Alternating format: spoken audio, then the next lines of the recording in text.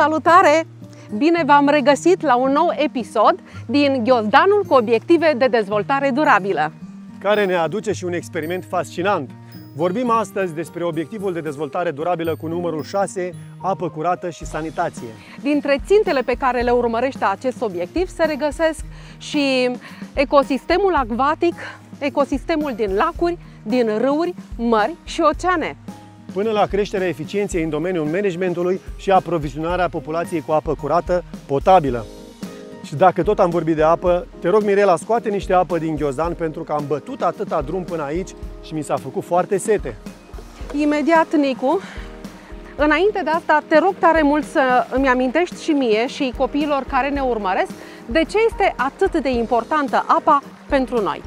Apa este importantă pentru organism ca și aerul. Apa transportă substanțele nutritive în corpul nostru, dar și elimină toxinele din organism. Este suficient ca 10% din apa din organismul nostru să dispară, așa încât sângele să nu mai circule corect prin organism. Acesta este motivul pentru care medicii ne recomandă consumul la cel puțin 2 litri de apă în fiecare zi. Deoarece multe organe din corpul nostru conțin o cantitate mare de apă. Creierul, spre exemplu, conține 83%, plămânii 85%, ochii 95%, iar inima 75%. Îți mulțumesc pentru aceste date, dar înainte de asta, de a continua, te rog tare mult, bem trei guri de apă așa încât să ne asigurăm că organismul nostru funcționează optim. Ca să ajungem la cei 83% din creier, cred că va trebui să bem chiar mai mult.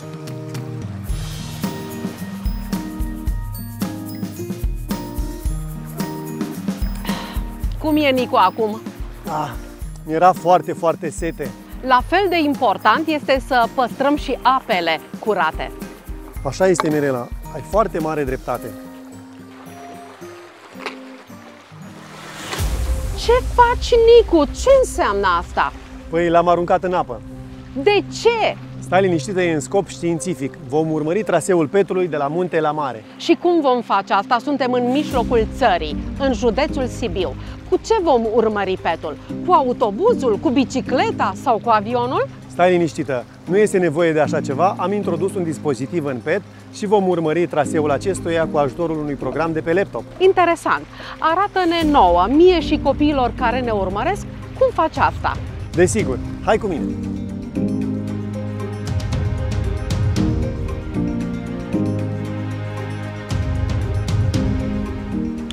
Stai un pic să se deschidă programul. Și ia uite. Ia uite, avem aici un program care urmărește exact traseul petului. Interesant. Vă spuneam copii mai devreme că apa ajută circularea substanțelor hrănitoare în organismul nostru. Totodată ajută și la îndepărtarea uh, substanțelor toxice. Apa îndeplinește acest rol și la nivel mai mare, la nivelul pământului.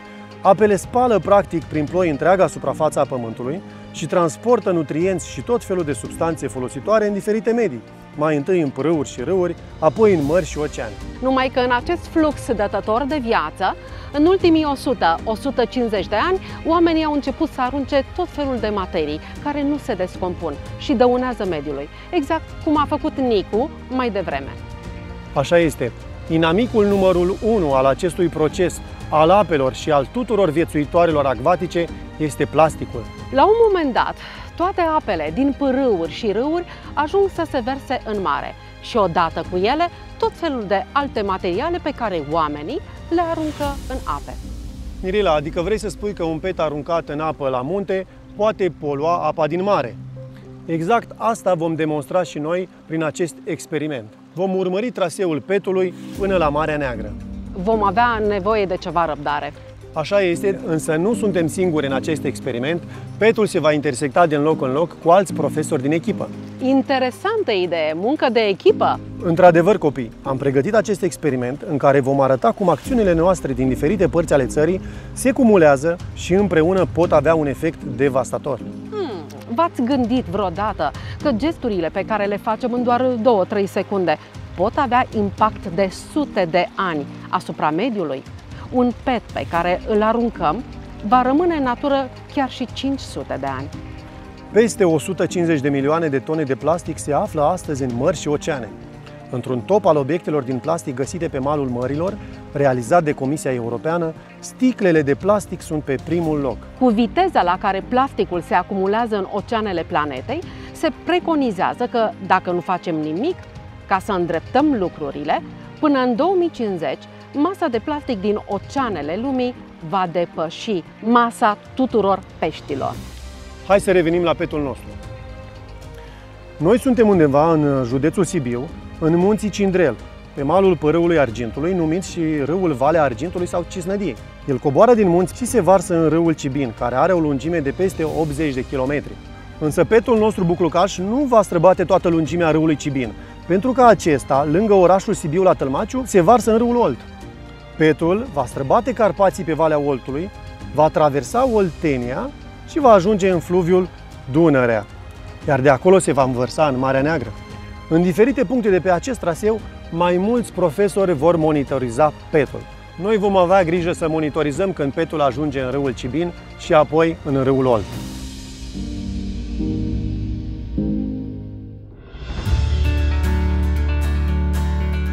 Au trecut 70 de ore de la începutul experimentului nostru.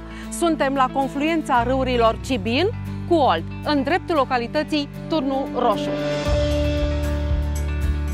Mirela, uite, chiar acum uh, vedem pe aplicația mea că petul mai are aproximativ 500 de metri până la gura de vărsare. Am ajuns înaintea lui în acest loc. Uite, a fost blocat în câteva zone, dar până la urmă curentul apei l-a adus aici. Mai sunt 200 de metri și ne vom întâlni cu petul nostru, dragilor. Nu este chiar o bucurie să urmărim plasticul pe cursul unei ape, dar ne bucurăm că experimentul nostru funcționează. Uite, aproximativ 100 de metri, Mirela. Hai să ne uităm. Exact, să-l urmărim. Uh, hai! Nu cred, uite-l!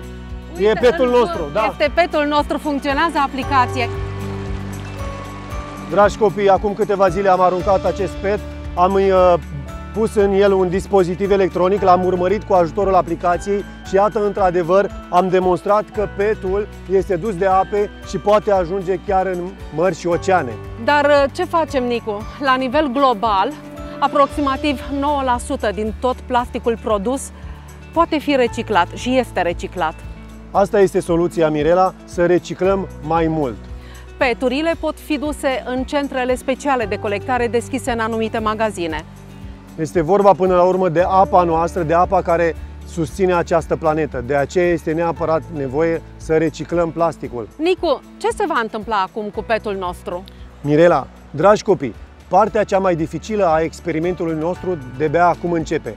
Petul va traversa Carpații pe Valea Oltului, și va ajunge într-un punct în care va fi preluat, dacă ajunge până acolo, de unul dintre profesorii noștri din echipă. Dacă a avut nevoie de 70 de ore până la vărsarea în râul Olt, cât crezi că i-ar mai lua până la vărsarea în Dunăre? Este posibil, conform aplicației și după viteza pe care a avut-o până acum, să ajungă în 4-5 zile.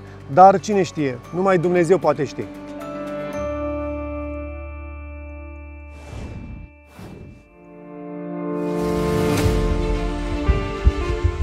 Dragi copii, mă aflu în zona unde râul Olt se varsă în fluviul Dunărea, în apropiere de localitatea Islas din județul Teleorman.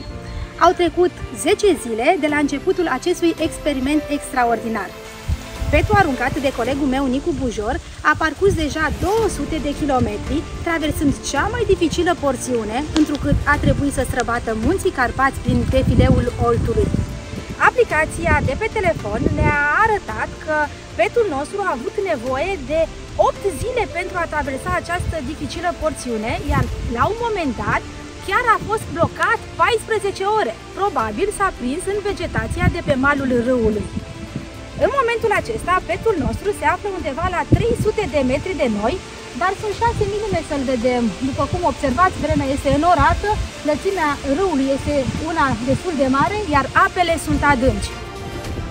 Conform aplicației, petul se află acum la 50 de metri față de noi. 30 de metri. Câteva secunde ajunge în Dunăre. Conform aplicației, a ajuns deja în Dunăre. De aici, petul monitorizat de noi va parcurge cea mai lungă porțiune de aproximativ 500 de kilometri prin lunga Dunării. În delta Dunării, un alt profesor va fi pregătit să-i monitorizeze ajungerea la vărsarea în Marea Neagră.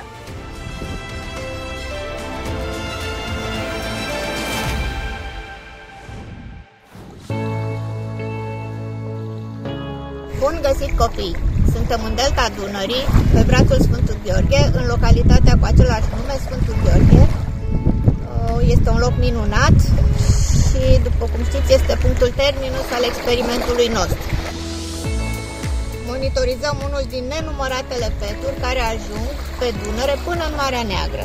Ca să înțelegeți mai bine, mai mult de 90% din cantitatea de deșeuri care ajung în Marea Neagră sunt plastic, iar din tot acest plastic, peste 68% este reprezentat de peturi.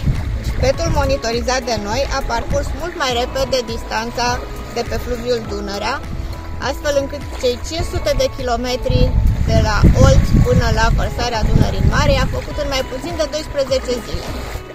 Aplicația ne arată că debitul extraordinar al Dunării l-a făcut să aibă o viteză foarte mare, mult superioară vitezelor de pe porțiunile Oltului și Cibinului. Acum, petul nostru parcurge ultimele sute de metri către Marea Neagră. Aplicația mi arată că petul monitorizat se află în acest moment la 100 de metri de mare, 30 10 metri. Gata, în acest moment petul nostru a ajuns în mare. Experimentul nostru s-a încheiat, dar din păcate nu este un experiment foarte fericit pentru că ne dovedește că majoritatea deșeurilor din plastic ajung în cele din urmă în mări și oceane. De aici, de la vărsarea Dunării în mare, Mirela, Nicu, vă dau legătura pentru concluziile finale.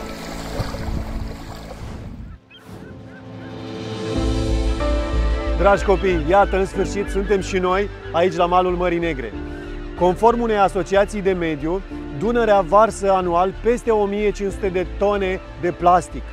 Asta înseamnă că zilnic 4,2 tone de plastic ajung în Marea Neagră. Acest lucru este devastator pentru viața acvatică. Echipa proiectului a făcut un efort extraordinar să urmărească un pet aruncat de Nicu acum 22 de zile într-un râu în mijlocul țării noastre. Petul a străbătut aproape 800 de kilometri până a ajuns la malul mării. Ce este important, dragilor, nu este timpul în care petul a ajuns la malul mării. Putea să ajungă mai devreme sau mai târziu, în funcție de anotimp, de obstacolele pe care le-a întâlnit în cale.